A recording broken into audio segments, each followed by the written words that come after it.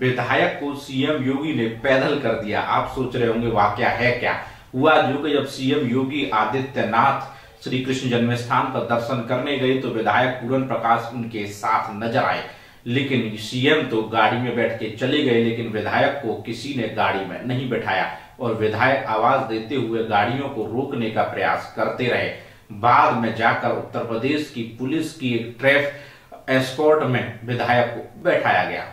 मथुरा में श्री कृष्ण जन्म स्थान के बाद सीएम योगी आदित्यनाथ जब वापस सभा स्थल की तरफ़ दौड़ रहे थे तो उन्होंने अपने विधायक को पैदल कर दिया। श्री कृष्ण जन्मभूमि के दर्शन के बाद विधायक पैदल नज़र आए। सीएम के साथ सभी गाड़ियों में नहीं बिठाया गया। विधायक पूर्ण प्रकाश को विधायक करते रहे। गाड़ी चालकों से निवेदन पीछे पीछे दौड़ते रहे विधायक, लेकिन किसी भी गाड़ी ने विधायक को लिफ्ट नहीं दी। मथुरा के बलदेव विधानसभा क्षेत्र से विधायक हैं पूरन प्रकाश, सीएम योगी आदित्यनाथ। श्री कृष्ण जन्मभूमि के दर्शन को गए थे, विधायक भी उनके साथ गए थे। हालाँकि यह विधायक बड़बोलेपन के लिए मशहूर है।